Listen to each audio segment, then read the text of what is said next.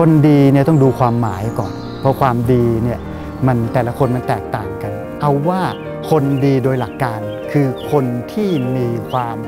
รับผิดชอบ จะรับผิดชอบเรื่องอะไรก็ตามแต่ ในงานที่ตัวเองทำสิ่งที่ต้องรับผิดชอบนั้น เขาเรียกหน้าที่ก็ต้องดูว่า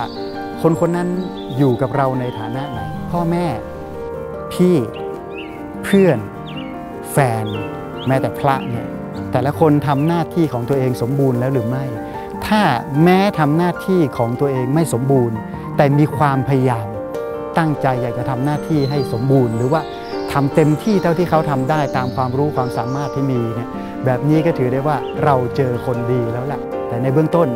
หาดูที่ในตัวเราก่อนแล้วกันว่า เรามีความรับผิดชอบต่อเรื่องต่างๆ ต่อหน้าที่ที่เราเป็นแค่ไหน เอาว่าคนอื่นจะยังไงช่างเถอะ เอาตัวเราก่อนให้เราเป็นคนดีก่อนแล้วกัน